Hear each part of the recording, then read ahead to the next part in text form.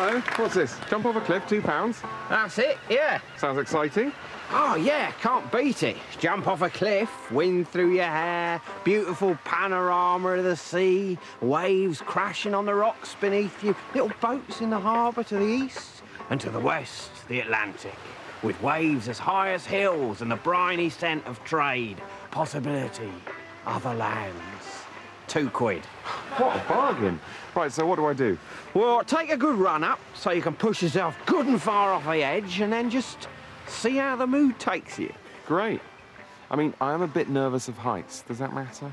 Well, I'll be honest with you, it's not ideal.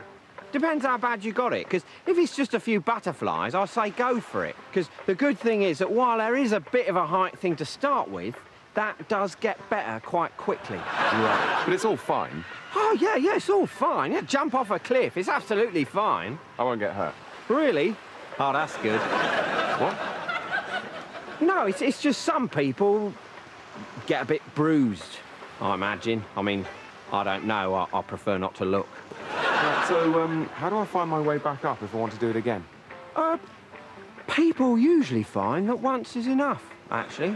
I mean, it is fun, but you only need the one. Like a hot chocolate? Yeah. OK, well, that's uh, one to jump off a cliff then, please. And that'll be two quid. You're actually doing it? Yeah. OK.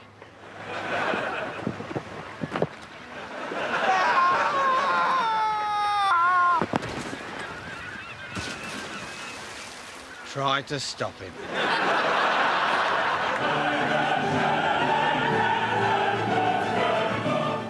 Good evening and welcome to Big Talk. My name's Raymond Terrific, and yet again I stand at the eye of the storm of the world's ills, waving my